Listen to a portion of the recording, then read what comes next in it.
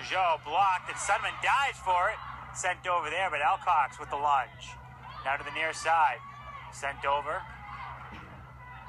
Now back for Sawyer, who hammers it in. Blanchette was there. Didn't get it high enough. That's just absolutely impressive. Alexis Sawyer uh,